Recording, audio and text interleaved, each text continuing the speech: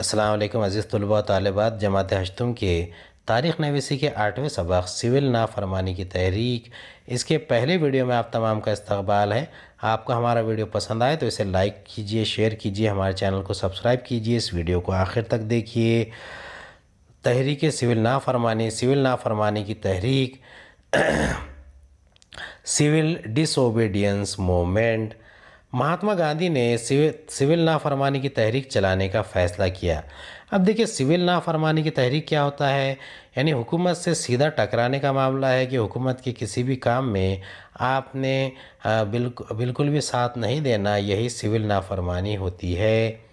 इस तहरीक के आगाज़ से कबल गांधी जी ने अंग्रेज़ हुकूमत से कई मुतालबात किए थे, जिसमें नमक पर लगाए गए टैक्स को ख़त्म करके नमक तैयार करने की सरकारी अजारादारी ख़त्म करने का मुतालबा अहम था, लेकिन हुकूमत ने इन मुतालबात को ठुकरा दिया, जिसकी वजह से गांधी जी ने नमक का क़ानून तोड़कर पूरे मुल्क में सत्याग्रह करने का फ़ैसला किया था।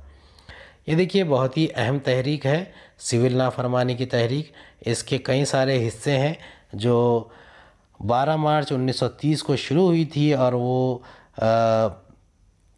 अप्रैल 1934 तक चली। ये जो तहरीक है, ये तकरीबन चार साल तक चली थी और बहुत ही लंबी तहरीक थी।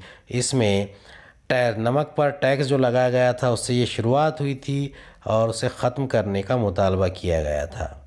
अब देखिए, महात्मा गांधी है और महात्मा गांधी के साथ में सत्याग्रह ही जो दांडी यात्रा पर निकले हैं। दांडी एक मकाम है जहाँ पर पहुँच महात्मा गांधी ने नमक के ऊपर लगाए गए टैक्स का क़ानून को तोड़ा था। नमक आम इंसान की गज़ा का एक अहम जुज़ है, इसलिए नमक जैसी ज़रूरियात ज़िंदगी पर टैक्स लगाना सरासर नाइंसाफ़ी थी। इसलिए गांधी जी ने नमक का सत्याग्रह किया नमक का सत्याग्रह एक अलामत थी। हकीकत इसका वसी मकसद अंग्रेज़ हुकूमत के ालमाना और गैर मुनफाना क़वानीन को पुरमन और सत्याग्रह के ज़रिए तोड़ना था। देखिए, नमक का क़ानून तोड़ना ये तो एक अलामत थी। इस पर टैक्स लगाया गया था। लेकिन उसके ख़िलाफ़ जब सत्याग्रह करेंगे आप, उस क़ानून को तोड़ेंगे तो वो क़ानून जो है, एक किस्म की तहरीक का हिस्सा होता है। और उसको तोड़ना, क़ानून को तोड़ना उस तहरीक को ज़िंदगी बख्शने जैसा है। नमक का सत्याग्रह करने के लिए गांधी जी ने गुजरात के साहिल समंदर पर दांडी नामी मकाम का इंतखब किया। 12 मार्च 1930 को गांधी जी अट्ठहत्तर साथियों के साथ साबरमती आश्रम से दांडी के लिए रवाना हुए। यानी गुजरात के दांडी मकाम पर गांधी जी को जाकर उस नमक के क़ानून को तोड़ना था। तो 12 मार्च 1930 को गांधी जी ने अठहत्तर साथियों के साथ साबरमती आश्रम से दांडी के लिए रवाना हुए। यानी ये तीन सौ पचासी किलोमीटर की पैदल मुसाफत के दौरान इन्होंने कई गाँव में तकरीरें की। अब देखिए ये जो तहरीक थी ये अवामी तहरीक कैसे बनेगी जब इसमें आवाम की शमूलियत होगी और भारत चूँकि गाँव का देश है और आ, ये अहमदाबाद का जो साबरमती आश्रम है, वहाँ से दांडी का फासला तीन सौ पचासी किलोमीटर था। अब पैदल चलेंगे तो रास्ते में कई गाँव आएँगे। तो हर गाँव में रुकते, वहाँ पर ख़याम करते, तकरीर करते और आवाम के अंदर बेदारी पैदा करने की कोशिश की जाती। अपनी तकरीरों के ज़रिए गांधी जी ने आवाम को बेखौफी से सिविल नाफरमानी की तहरीक में शामिल होने की अपील की। यानी आवाम में बेदारी करना, बेदारी पैदा करना इसकी एक अहम वजह थी। गांधी जी की तकारीर से सिविल नाफरमानी का पैगाम हर सिमत फैल गया और तहरीक के लिए साजगार माहौल तैयार हो गया। यानी गांधी जी जब सिविल नाफरमानी की तहरीक जब शुरू की गई थी तो महात्मा गांधी ने उसके ज़रिए बेदारी पैदा करने की कोशिश की और अपनी तकरीरों के ज़रिए सिविल नाफरमानी के लिए एक माहौल तैयार किया। पाँच अप्रैल 1930 को गांधी जी दांडी के मकाम पर पहुँचे।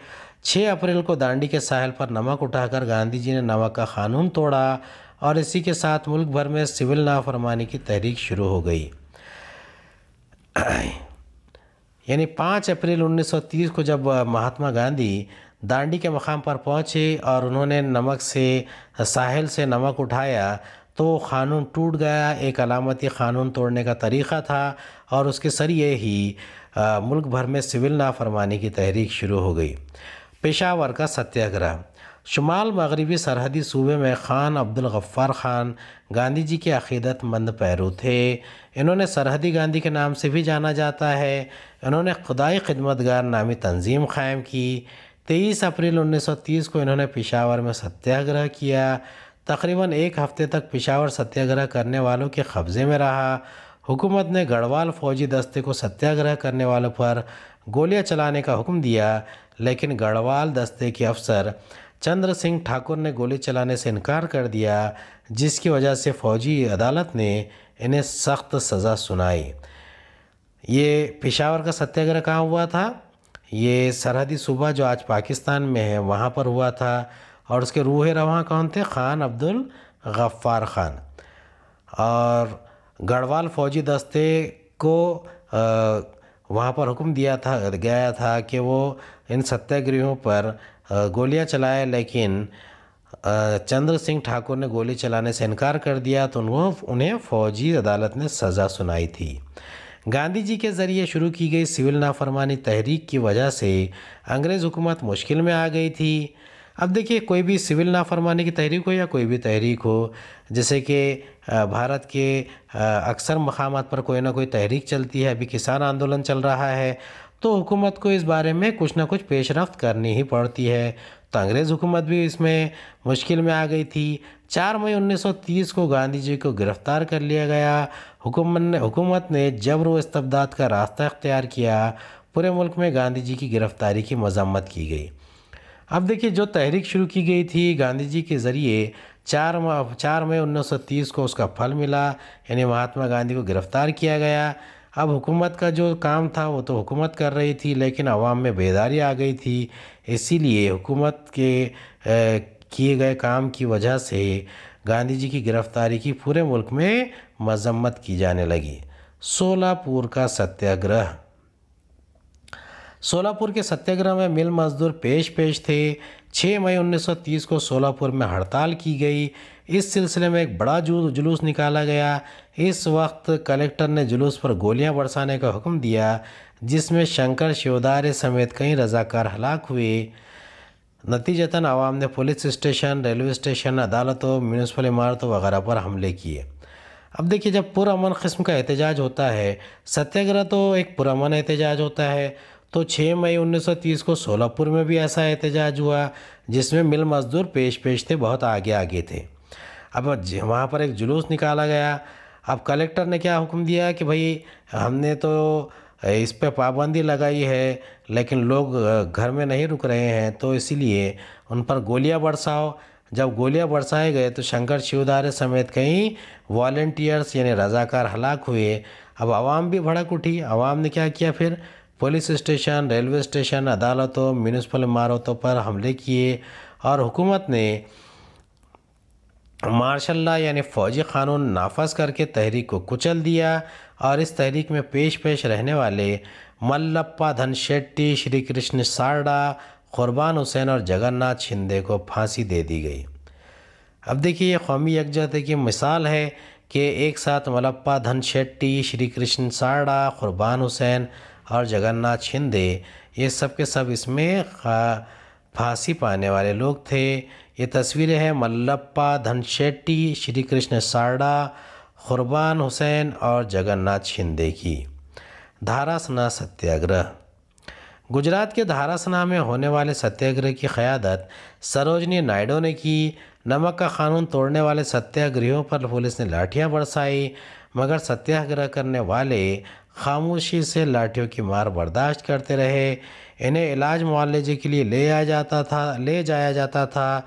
तो इसकी जगह दूसरा ग्रोह आ गया था और यह अमल मुसलसिल जारी रहा। महाराष्ट्र में वडाला, मालवन और शिर, शिरोड़ा के मुकामात पर नमक का सत्याग्रह किया गया। अब देखिए, यह धारासना का सत्याग्रह की क़्यादत किसने की थी? सरोजनी नायडू ने। और ये जब सत्याग्रह कर रहे थे तो पुलिस ने सत्याग्रह करने वालों पर लाठियाँ बरसाई। लेकिन वो सब लोग खामोशी से इन तमाम जुल्म को बर्दाश्त कर रहे थे। और इसके अलावा महाराष्ट्र में वडाला, मालवन और शिरोडा के मकाम पर भी सत्याग्रह किया गया था। जहाँ नमकसार नहीं थे, इस जगह लोगों ने जंगल से मुतल क़ानून तोड़ने की इब्तदा की। महाराष्ट्र में बलाशी, संगमनेर, कलवन। अब देखिए, अगर किसी इलाके में नमक नहीं बनता है तो नमक के बजाय लोगों ने क्या किया कि वहाँ की जो जंगल है, जंगलों के मामला को आगे बढ़ाया और वहाँ पर सिविल नाफरमानी तहरीक को आगे बढ़ाया। अब इसमें चरनेर, पूसाद वगैरह मकाम भी शामिल थे। अब ये चरनेर पूसाद वगैरह मकाम पर जंगल का सत्याग्रह किया गया, जिसमें आदिवासियों ने बड़े पैमाने पर हिस्सा लिया। बाबू गिनों की कुर्बानी। मुंबई में बदेसी माल के बायकाट की तहरीक जारी थी। सत्याग्रह करने वाले बदेसी माल ले जाने वाली सवारियों को रोक रहे थे।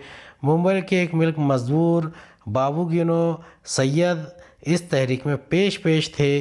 पुलिस की हिफाजत में बदेसी माल से भरा हुआ एक ट्रक बाबू गिनो के सामने आया। ट्रक को रोकने के लिए बाबू गिनो रास्ते पर लेट गए और पुलिस की धमकी के बावजूद अपनी जगह से नहीं हिले। आखिरकार ट्रक इनको कुचलता हुआ गुजर गया और बाबू गिनो सैयद ने शहादत का जान जाम नोश किया। इनकी इस कुर्बानी ने कौमी तहरीक में जोश पैदा कर दिया। उम्मीद है आपको हमारा वीडियो पसंद आया होगा। अगले वीडियो में दोबारा मुलाकात होगी। खुदा हाफिज़।